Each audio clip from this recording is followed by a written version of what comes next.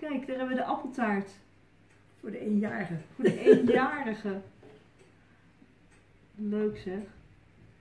Want ik kan me dus echt herinneren dat jij, dat jij altijd appeltaart bakte Ja, dat deed ik ook. voor onze verjaardagen.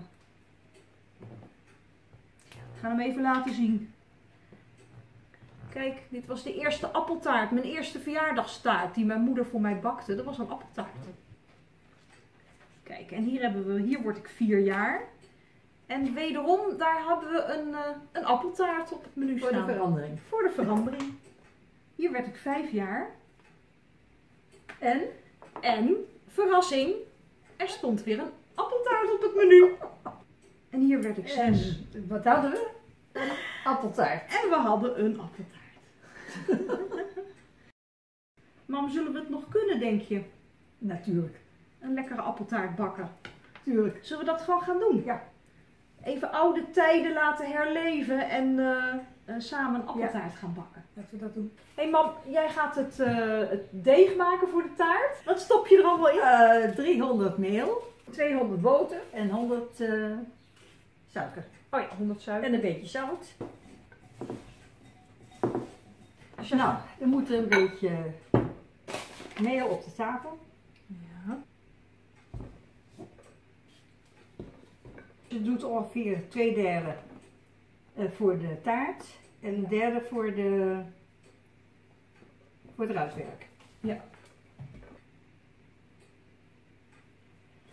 Het is allemaal nog een beetje onwennig, want ik heb het natuurlijk al heel lang niet meer gedaan. Ja, dat snap ik. En vind je het leuk om weer te doen? Want toen we vorige keer de, de brood bakten, toen ben je daarna ben je zelf weer je brood gaan Ja. bakken. Dus wie weet wat Ja. er nu eh, allemaal staat te gebeuren. Nou, wie weet, ja. Lijkt me wel lekker. Ja.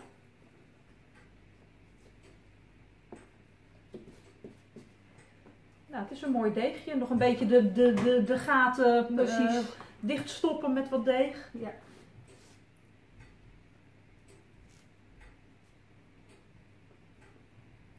Nou, genoeg deeg dus.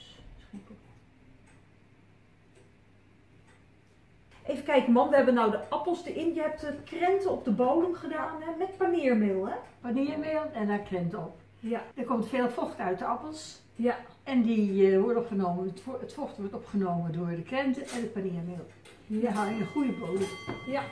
En je bent nu het deeg aan het rollen voor het rasterwerk Ja. hè? Want we maken echt een, eh, een ouderwetse appeltaart. Een echt appeltaart. Ja.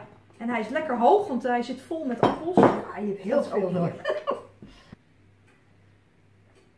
En waar ik nu ook opeens aan moet denken, mam, is dat we vroeger zo graag het, eh, het rauwe deeg wilden eten. Ja, dat weet ik nog goed. Dat we Ja. dat zo lekker vonden. Dus dan bedelden we om een stukje. Ja. En vond jij het vroeger leuk om te bakken? Oh, heerlijk. Heerlijk. En wat ik ook altijd erg lekker vond is eh, boterkoek. Oh ja. We hebben een keer boterkoek gemaakt. En dat hebben we achter elkaar opgegeten met z'n tweeën. Samen een hele boterkoek opgegeten. Ik denk niet dat we veel gegeten hebben s'avonds. Ik denk het ook niet. Dus er gaat nog even wat eigeel over, de, over het rasterwerk. Dan is hij straks mooi bruin als hij, eh, dan bakt hij mooi bruin. En de rest het, eh, gooi ik erin. Oh. Dus dan doe je je restje ei doe je gewoon in de taart. Lekker. Komt wel goed, ja. Wordt vast lekker. Nou, hij gaat in de oven, man. Ja.